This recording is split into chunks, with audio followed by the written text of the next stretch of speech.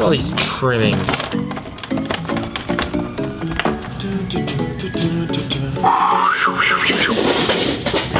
What's up guys? Welcome back to another pottery video. So good to have you in the studio today. Man, we had some fun at NCECA last week. But now we're back in the studio and our Kickstarter ended, which means that we have like 250 pots that we have to make over the next series of months. We're starting with these big bowls. So I threw some of these big serving bowls and this video is about trimming them because I trimmed a couple of them so you can see this one has nice, a nice smooth finished bottom. And I wanted to talk about a tool that I use. So this tool is from Mud Tools. This is not sponsored by them. I bought this with my own money. Uh, I did talk to them at NCECA though, because this tool is pretty freaking amazing. You might recognize this trim tool as a tool that you've used a lot. And this is like the only tool that I use for many, many, many years. And it works great. But then I started using this tool and it's really interesting. I, I honestly, I, am not gonna tell you right now that this tool is way better than this tool, but I've been using this tool a lot and I like it. So I hope, I'm gonna try and put a link in the description um, of this video if you wanna go get one on Amazon because then I would get like a small, small fraction. Yeah, so this video, we're gonna be doing all the trimming with this. So let's hop on the wheel and trim some bowls. Ready for that? You ready? I'll talk through it too a little bit, just in case you need a little refresher, because everybody kind of trims differently, so this is not the only way to trim, but this is the way that I trim. All right, let's do it. So we got our bowl, right? We got our bowl that we threw a couple days ago. I've been letting these dry because I really wanted them to be the right consistency. It's really, really difficult to trim things when they're either too wet, and then obviously you don't want them to be too dry, because then it's hard to trim too. But these are at a perfect, perfect place to be trimming right now. So typically when I trim, I'll take a needle tool and I'll try and get it as close to centered as possible right away, right? And then I'll go one ring around the top. See that, see that came one ring. And then wherever the ring is closest to the edge, I'll move it slightly that way. So the right here is a little bit closer than over here, so I shifted it that way a little bit. So usually I do that one time, and then I'll go from the outside. So can you see that and hear it? How, so from right here, all the way around to right there, the needle hit, and it did not hit on the other side. So then I know that it's too far that way, so I'll just slightly move it. Then I'll do that again. And so now I can hear it, see how I hear it? So the needle is hitting all the way around. So now I know it's centered. So it's a pretty simple process. One, two, three. Usually I can do it in 10 or 15 seconds if I'm not talking about it. And then I fix my clay to keep the pot in the middle. And usually I just do three. Three is always a good number. And we'll go to it once I find my trim tool. Where did the trim tool go? There it is. Okay, so then the night the cool thing about this tool is that it has two sides. It has this side, which acts as like a flat surface. So you can kind of come in from there.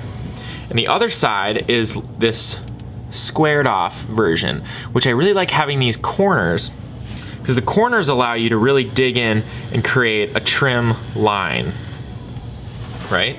So what I do, I like to take a little bit off in the middle, leave some for the foot, and then also leave, put a little bit of um, foot in there from the edge too. So I'll come at it from this way, come from the side, and then I'll flip it around, go at it down this way.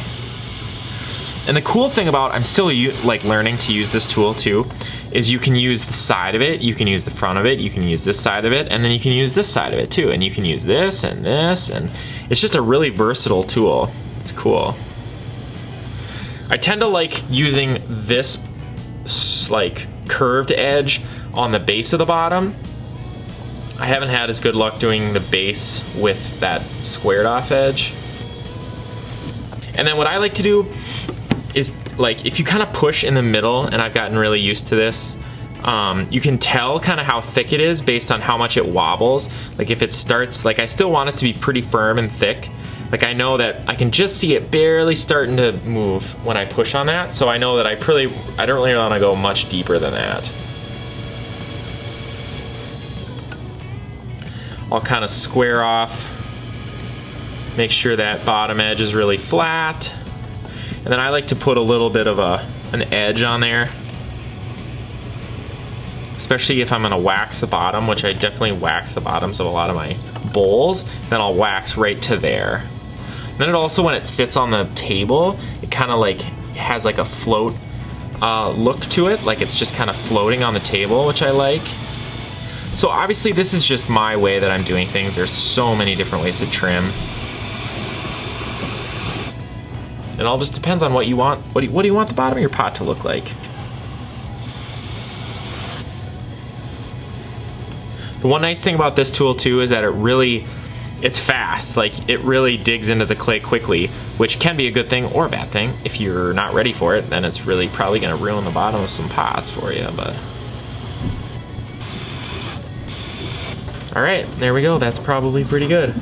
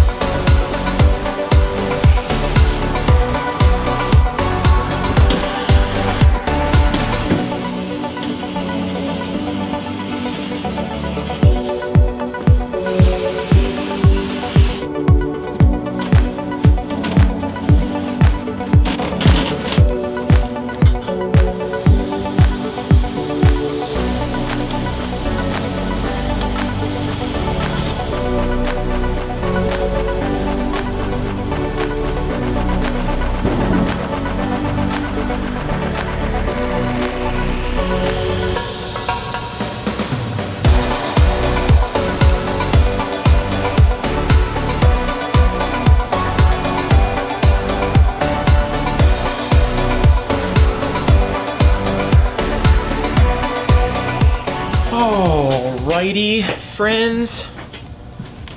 I hope you enjoyed. Look at all this trimmings. Look at all these trimmings. So I hope you enjoyed this video. This is our last one. So we trimmed 10 of them. And again, these are the large serving bowls for the Kickstarter. So shout out to, I think nine, nine people are getting these. So yeah, we just finished the Kickstarter. Super pumped, getting close on the studio. What do you think? Comment below, tell me, is this how you trim? Is this, do you trim a different way? Do you, have you tried these, those mud tool things? Oh, this is just not really working for me. Yeah, comment below, tell me what you guys wanna see. I haven't, I've been kind of slacking on the tutorial side of things. I've been doing lots of vloggy stuff, but March was just crazy, like so much going on. I was gone a couple times on a little vacay with my family and then the NCECA happened and so then I had all the footage from NCECA. It's just a lot going on. Now it's gonna be like spring and summertime and we're finishing up the studio and now I got the Kickstarter going. My focus has been not, not quite as much on the YouTube channel. But I think once I get back in the studio, I think I, I wanna do some videos like just pottery basics, like basic pottery stuff. Like if you've never done pottery before, so I wanna do that video. I wanna do like some wheel throwing tips, like hacks. I wanna do a sitting versus standing video, like why I stand and I don't sit, because that's something that I think would be really interesting to people. I wanna do, yeah, I wanna do some of the business side. I really wanna do some of the business side of pottery, like, like, is it possible to make it financially as just a full-time potter? Which the answer to that is Obviously it depends, as the answers to many hard questions in life are.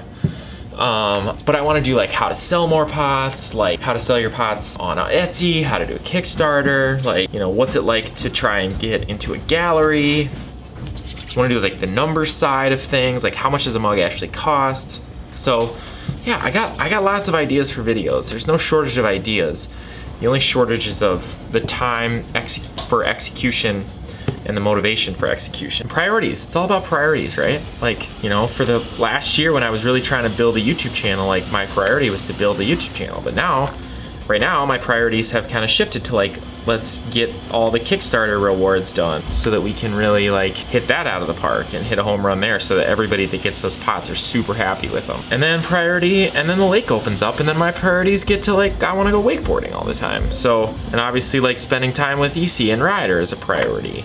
So yeah, like how you prioritize your time is just like basically shows you where your values are. This was my this was my idea with Thursday throwing thoughts is I would just like get on here, start throwing and then just like talk about whatever. That's what I'm doing right now. Yeah, so tell me what kind of what videos do you guys want to see? Out of those things that I just kind of said like the business side, I really wanted to, I mean, I started the channel and I wanted to do more stuff about business and entrepreneurship and owning a small business and stuff because I feel like that's something that is super unique. Like there's obviously lots of pottery tutorials and everybody does it kind of a different way and but I feel like you know, people probably wonder a lot about like how do you own your own business? Like the actual like but some of that stuff's really boring. Like how to how to read a profit and loss statement. Should we do that video?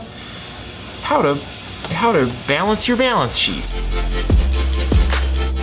So anyway, want to say thank you guys so much for subscribing, for being subscribers, for actively watching all the videos. Thanks especially to all the people that contributed to the Kickstarter. That was like super essential for finishing up that studio. Now we're now we're filling Kickstarter orders and finishing up the studio. Probably putting on paint later tonight.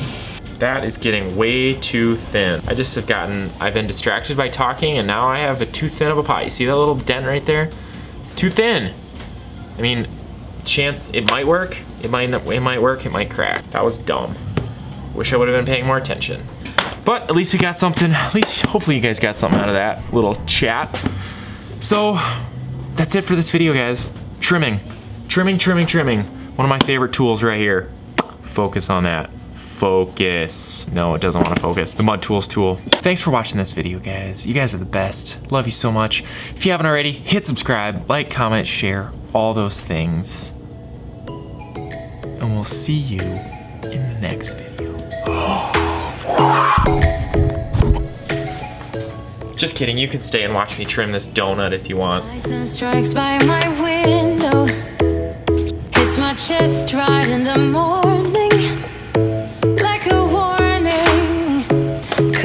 Slept here for days. I felt your heartbeat, felt your mouth breathe. But it's not real.